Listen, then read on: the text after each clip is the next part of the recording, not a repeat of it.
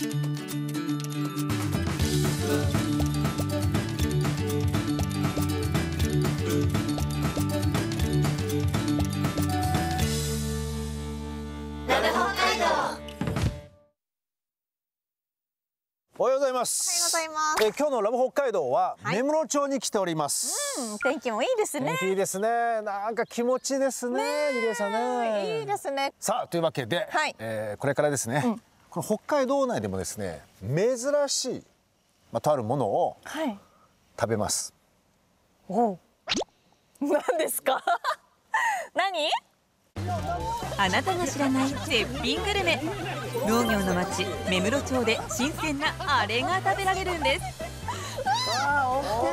そして北海道で今これが食べられるって知ってましたか？今週も美味しいものが満載のラブ北海道スタートです。ハッピーラッキーメモリー